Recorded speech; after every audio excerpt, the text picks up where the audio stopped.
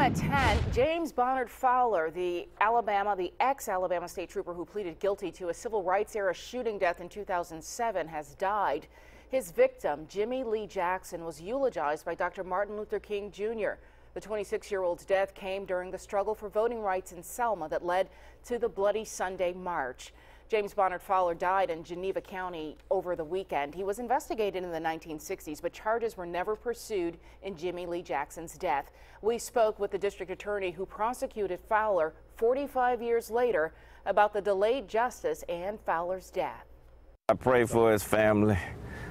I know anytime somebody dies, it's tough. But we were glad that we were able to get justice before he died. Uh, some semblance of justice for the family, and of course, history. Jackson also says that he feels that a very important chapter in Alabama is now closed.